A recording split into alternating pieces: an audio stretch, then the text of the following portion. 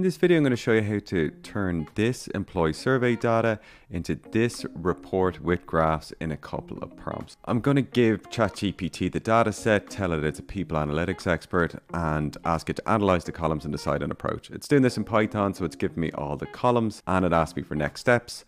I'm looking at the departments and I want to compare two and I'm asked what I should compare the IT and operations department on. It's done a huge analysis within Python and it's come out with some key things and interesting facts that I should analyze on. So I've given it an instruction, can we compare job satisfaction trends across three metrics? It does a data analysis, which I'm pretty happy about now when I get this out into a report. So I'm asking it to create three charts to highlight the key differences accompanied by a narrative. So I'm pretty happy with these. So now I want to ask it to give me the report in a format I can send to my manager. The key step here is to copy and paste this report output directly and to copy the images and paste them in as well. At the moment, ChatGPT is no good at giving you a formatted report, but if you take this extra step, it looks fine.